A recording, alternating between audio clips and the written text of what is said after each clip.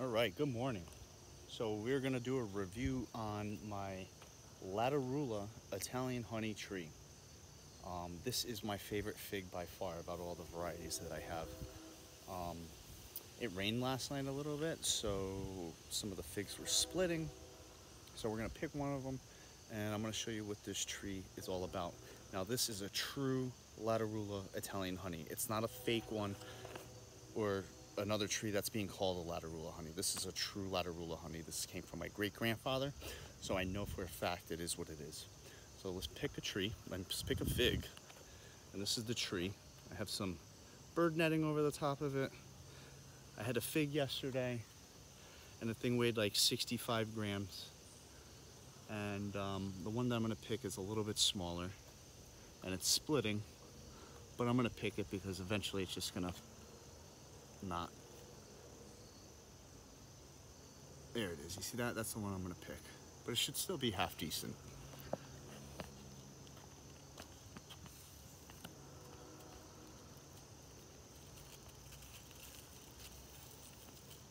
Ooh, look at that catch. Definitely not ripe all the way, but you know what? Either way, it's going to go bad, so let's go crack this beast open. Pick the leaf so you guys can see what a true Lattarula honey tree looks like.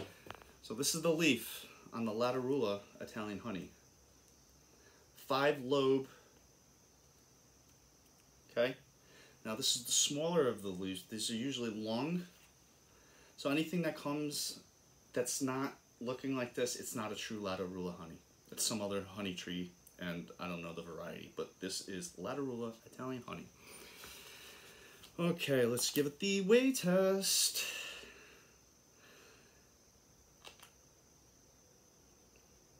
All right, we got a uh, 47 grams.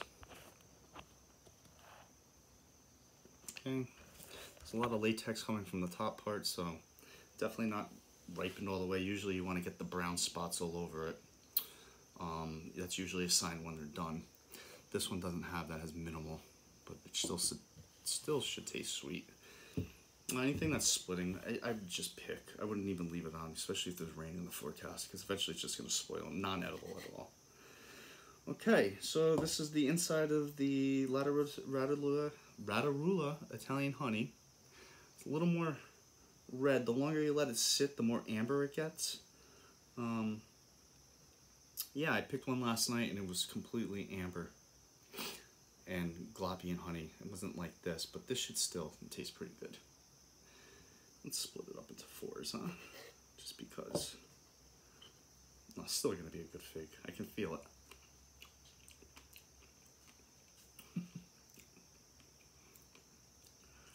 mm. Unreal. Good fig.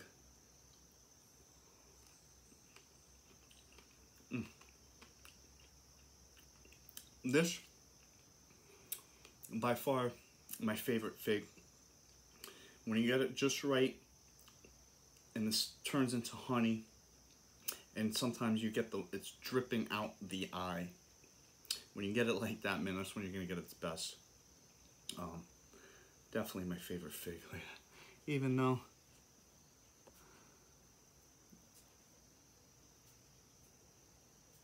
that's it.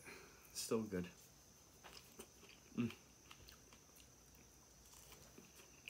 Yeah. Lattarula Italian honey. It's a common fig. But definitely, definitely worth growing. It's a big producer. Produces large figs. The older the tree, the bigger the figs. And really sweet and enjoyable. You guys have a nice day.